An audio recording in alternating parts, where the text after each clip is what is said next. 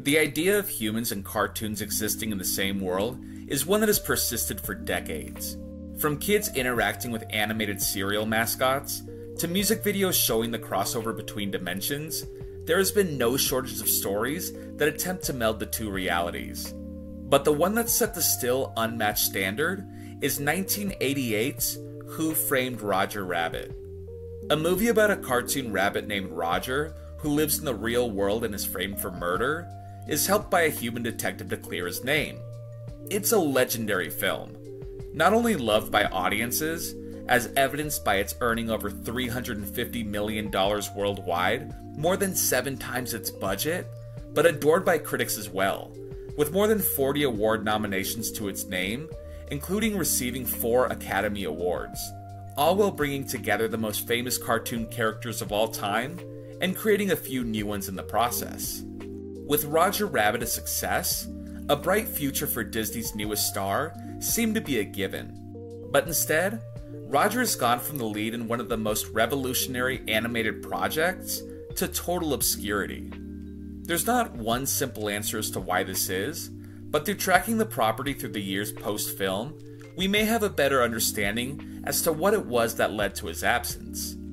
We'll look at the other movies he was in, the sequels that never were, and the potential character related reasons he, and his wife Jessica for that matter, haven't been seen since.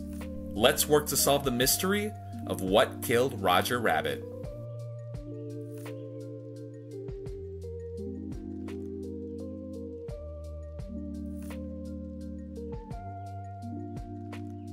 To understand the circumstances that precipitated Roger's absence, it's important to know the context of the characters themselves, starting with a brief history of who Roger and Jessica are and how they came to be. Roger Rabbit debuted in Gary Wolf's 1981 novel, Who Censored Roger Rabbit? Disney would purchase the movie rights to the story, and with the plot reworked and the title changed, Who Framed Roger Rabbit would release in June of 1988 to worldwide fanfare. Roger himself is incredibly distinctive when it comes to his appearance and personality. Dressed in red overalls and a polka dotted bow tie, with yellow gloves against his white fur that accentuate his skeletal looking arms, his design is more in line with Emmett Kelly's sad hobo clown rather than any of Disney's previous marketable cherub faced leads. In the film, his situation is dire. Framed for murder and faced with the possibility of his wife's infidelity, it's a stressful situation that puts him through the emotional wringer. He's frightened, inconsolable, overwrought with anxiety, and he lets anyone within earshot know about it, with his shrill squeals and stuttering pleas, only interrupting his own moments of nervous energy when he sees the opportunity for a well timed gag. He may come off as unbearable in the movie, but it's by design, fulfilling his in universe and in reality purpose to be funny. It may not always look or sound pretty, but he does it better than anyone. On the opposite end of the spectrum is Roger's wife, Jessica Rabbit, one of the most recognizable cartoon characters ever. With her shapely body that would make an hourglass blush, she's the be all end all when it comes to animated vixens. Her hair covering more of her face than her sparkling dark pink dress does of her own body, her look is iconic to the point that the term of having a Jessica Rabbit body type is now a widely understood turn of phrase to describe a woman with a curvaceous physique. She's a singer at the Ink and Paint Club, but her alluring show is a facade for her true nature. A determined woman fiercely loyal to her husband, and more than well equipped to do whatever it takes to see his name cleared. Roger may be the title star, but it's actually Jessica that's the most famous of the two. The results of Who Framed Roger Rabbit being a commercial hit would immediately begin the process of springboarding the bunny into a bigger spotlight. Later that year, Roger would get his own mascot costume at Disneyland, and he would also co star in the NBC made for television special, Mickey's 60th Birthday. For a brand new character to go from having a starring role in a history making movie to a nationally broadcast celebration for the most famous name in cartoons is pretty significant. The special itself is an extended look back at the history of Mickey through the years connected by a loose story. Mickey, in an effort to give the audience at his birthday a show they'll never forget, uses the Fantasia Sorcerer's hat to cast magic. The sorcerer doesn't appreciate Mickey using the hat's magic and casts a spell so no one will recognize the mouse. And the remainder of the runtime finds Mickey interacting with different popular TV show characters on his way back to Disneyland, trying to discover his own magic in the process. The special is noteworthy for two reasons.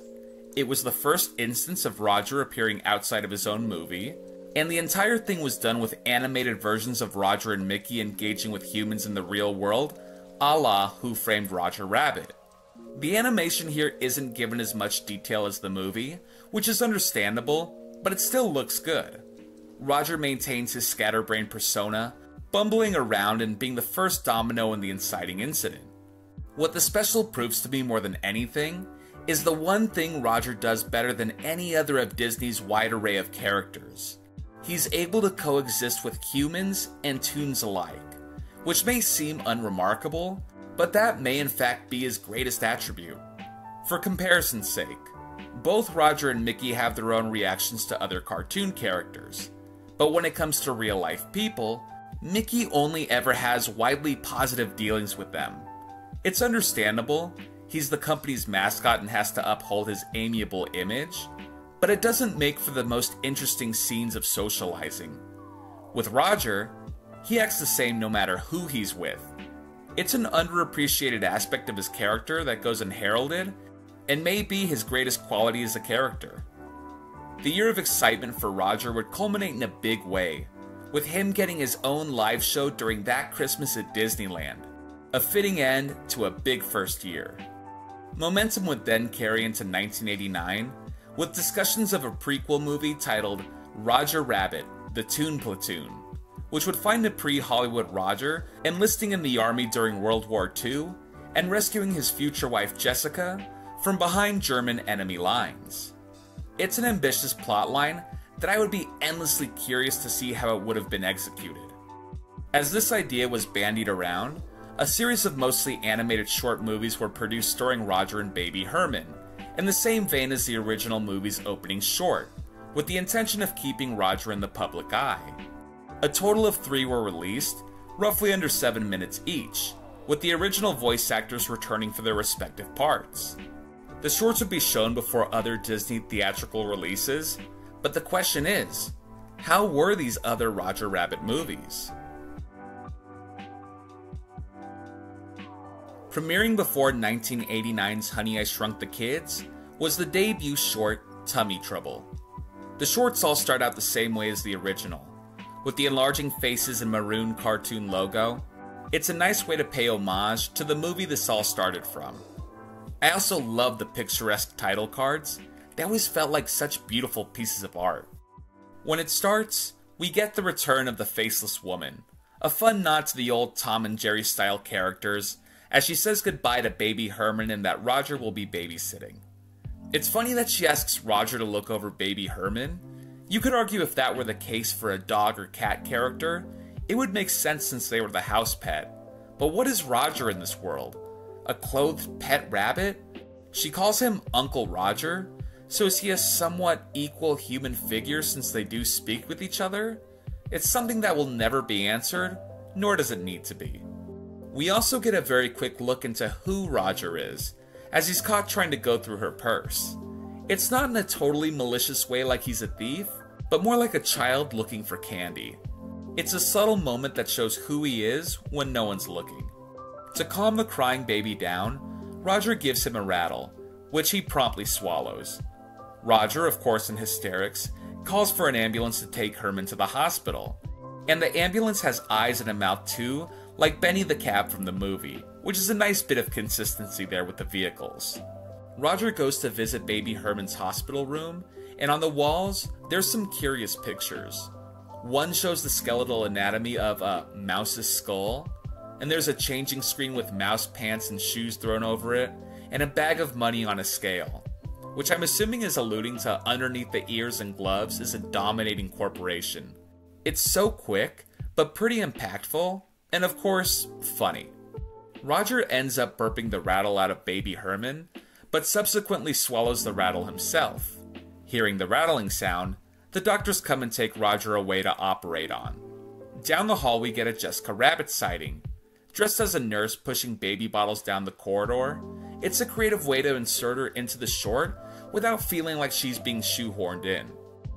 After an explosive action sequence, Roger ends with the rattle in hand, but flabbergasted by the medical bill. The true ending, however, is when the studio shoot ends with the live action crew ending production and Roger going home with Jessica. It's more of the Roger that we've come to love. It's funny, the animation is great, and Roger's a very captivating character.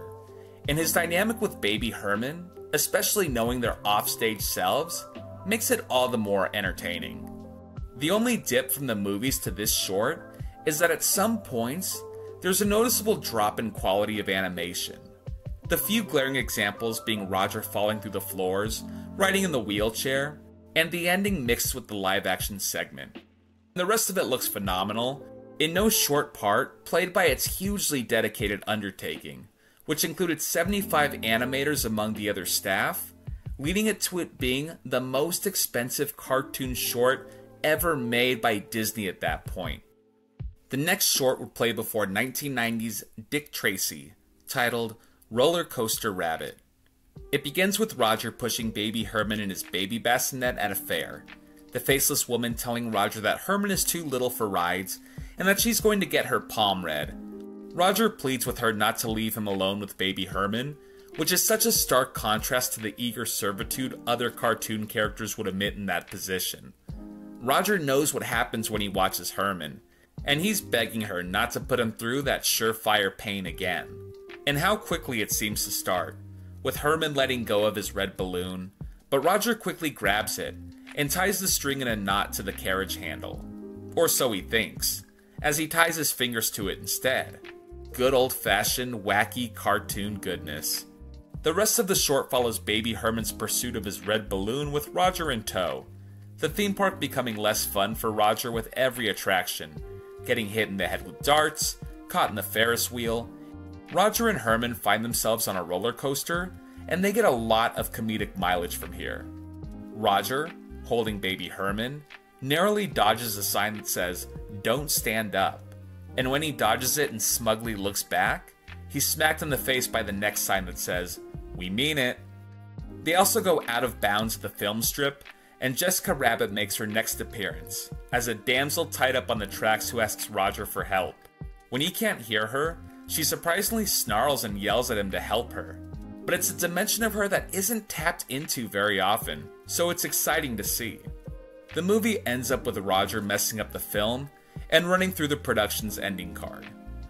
After this short, another major development for Roger was introduced. In January of 1993, we got the opening of Mickey's Toontown, a whole section of Disneyland with the Roger Rabbit theme. And later that year would be the last Roger Rabbit short, Trail Mix Up, which was shown before the 1993 theatrical release of A Far Off Place. It starts with, in my opinion, the most beautiful background by far of all the shorts. It goes back to the days of Snow White and Bambi, just bright and beautiful. The trio of Roger, Herman, and the faceless woman arrive at the campsite. Roger tripping on a pine cone, and the pack of everything he's carrying falling neatly into place. Cartoon logic at its best. She plans on going hunting and tells him he has to watch baby Herman and that his shenanigans had better come to an end as she brandishes a knife. Which is so funny how she's done putting up with Roger to this extreme level. Roger decides to make a fire for him and baby Herman and takes out a violin, tossing it and using the bow to rub two sticks together, which is such a creatively funny way to get to that point. As Roger warns baby Herman not to sit too close to the fire so he doesn't burn his weenie, the ranger comes by to check on them, and it's who else but Jessica Rabbit. We get to see a side of Roger that hasn't been explored much, and it's his attraction to Jessica. As she stands over him, the pace of his friction increasing while he salivates over her, before bursting into flame in a puff of smoke, it's a great wink of an adult joke, but we haven't really seen Roger fawn over her. He obviously loves her from his deranged pursuit of her in the movie, but this is one of the only times we see him act as daffy as others have over her. The rest of the short is filled with more fun as Roger chases baby Herman around the woods, where they bump into a beaver and a bear before careening off a waterfall, plugging up the old predictable geyser, and launching them into Mount Rushmore, which is so fun to see a physical model being blown up before Roger stakes a makeshift flagpole into the ground, deflating the earth. The third movie makes three for three of enjoyable shorts. They're in varied environments, but the levels of humor and dangerous situations they find themselves in feel as fresh and new as ever. Unfortunately, the plan for other additional shorts wouldn't go as followed, as the rest would be cancelled or go on unproduced. The rest of the 90s found to be the beginning of the end for Roger starting with Steven Spielberg bowing out of the Roger Rabbit Toon Platoon idea after finding himself unable to, quote, satirize Nazis after directing 1994's Schindler's List. 1997 would find a new version of a prequel written, this time about Roger's journey of becoming a movie star. Test footage was shot the year after using CGI, but with the high cost and less than pleasing look, any further work down that road would be discontinued. The 2000s and 2010s saw rumors of Roger's return in varying capacities. In 2013, the writer of the original Who Censored Roger Rabbit story pitched a script that saw Mickey Mouse and Roger together in a prequel to Who Framed Roger Rabbit, which included the tale of how Roger and Jessica met. In 2014 would end any possibilities of the original duo of Roger and Detective Eddie Valiant reuniting, with actor Bob Hoskins passing away. And in 2016, director Robert Zemeckis stated that the next proposed chapter in Roger Rabbit would move from the 1940s to the 1950s, and Eddie Valiant would return in ghost form. To date, there have been no updates on any of these proposed sequels. Roger has appeared sparingly in minor cameos throughout the decades, but what is it that's keeping him from coming back? The obvious answer would be that there hasn't been a sufficient script, and the advancement of technology has changed the way a second movie would be made. And those are both viable reasons. While scripts that have been lauded as worthy of being the next film have been passed around Disney Studios for what seems like years now, the awe that audiences once held for 2D animation has been gone for quite some time. The option to make a partially 3D animated film is on the table, but maybe since we've seen the lifelike intermixing of realities before, it would have to be something equally or more revolutionary to make me feel like this new effort would be justified. What I believe the honest explanation for Roger's disappearance is, is that he's not the kind of character Disney wants to promote. He's a goofy, childlike sad sack who has been out of the spotlight for decades. And with nothing new in the pipeline, where do you go? Do you start him out again in animated shorts first? Give him a bigger appearance in Disneyland? Put out a full on reboot? There are lots of possibilities, but with Roger, it's a daunting choice figuring out which one to select. And with Roger comes the inevitable topic of Jessica, who, based on her aesthetic alone, would almost have no chance of reappearing in the same form as she once did with how society and companies at large have changed in dealing with perceptions regarding outward appearances. Which is ironic, seeing that the essence of her character was not to judge her outwardly, but by who she is as a person. For further proof, look at her appearance in Disneyland's Roger Rabbit's Car Toon Spin ride. She no longer dons her pink dress and is now covered head to toe in a Dick Tracy esque trench coat. Disney's reasoning is they wanted to update the plot of the ride to make Jessica go from a kidnap victim into a private detective, following in the footsteps of Eddie Valiant, which is an idea I genuinely like, and I'm a fan of the new outfit. But if they wanted to communicate Jessica being a detective, they could have kept her in the same dress carrying a giant magnifying glass. This isn't a debate topic as to whether or not Jessica should or shouldn't be dressed up any more or less. She could have been removed from the ride altogether. But with her so connected to the Roger Rabbit franchise, they may have been forced to keep her in this instance. And if they can avoid having to acknowledge her in any major way going forward, that might be the direction they choose to go.